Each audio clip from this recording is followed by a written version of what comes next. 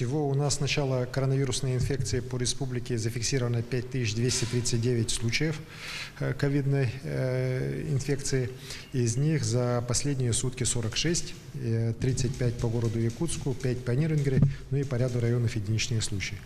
Э, Хочу сказать, что, конечно же, за последнюю неделю у нас существенное снижение. Если неделю назад было 72 случая, то сейчас вот уже 46. Э, Это хорошая динамика. И могу сказать, что уже практически месяц, с 25 июня у нас по городу Якутску в среднем э, 35-45 э, заболеваний, не более.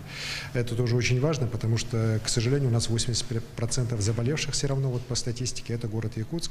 И от развития ситуации в городе Якутске э, точно будет зависеть дальнейшее развитие ситуации по ковиду в целом по республике. Потому что мы сегодня видим, что распространение по республике, по районам республики э, в основном идет через контакты с приехавшими из Якутска, через семейные, коллективные к- контакты. Э, И, соответственно, вот как раз работа по снижению заболеваемостью ковидной инфекции в городе Якутске сегодня для нас должна являться приоритетом.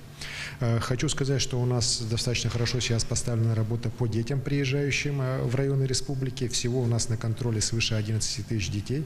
За последнюю неделю свыше 1417 детей прибыло вот в районы республики из города Якутска и сейчас вот поставлено на профилактический контроль со стороны учреждений здравоохранения. Э, К сожалению, у нас 31 человек находится в крайне тяжелом состоянии, из них э, четверо на аппаратах искусственной вентиляции легких, за их жизнь борются наши врачи. И, конечно же, обращаясь опять к жителям республики, все равно нельзя расслабляться. К сожалению, э, знаете, исчезает эпидемиологическая настороженность у многих, э, ездят без масок в общественных местах, бывают без масок в общественном транспорте без масок. К сожалению, еще раз говорю, болезнь не дремлет, и вот любое ослабление такого эпидрежима, оно, к сожалению, вызывает э, скачок э, заболеваемости в том или ином регионе. Мы это сейчас, к сожалению, в других регионах нашей страны видим.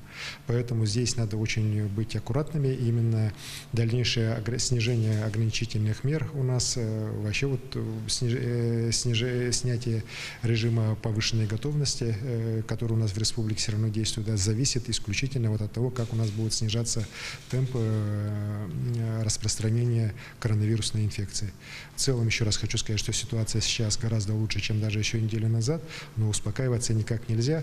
Э, Вот э, еще раз обращаю внимание людей на поведение, нельзя вот э, допускать массовое скопление людей. К сожалению, вот у нас даже в учреждениях здравоохранения города Якутска по утрам наблюдаются очереди, хотя существует та же электронная запись за получением тех или иных справок в те же санатории, получением там каких-либо направлений, а люди почему-то вот считают себя для себя нужным именно с утра пораньше прийти, хотя можно спокойно записаться и прийти в любое время. Вот те же очереди, которые по утрам в поликлиниках бывают, к 11 часам уже поликлиники у нас практически пустые.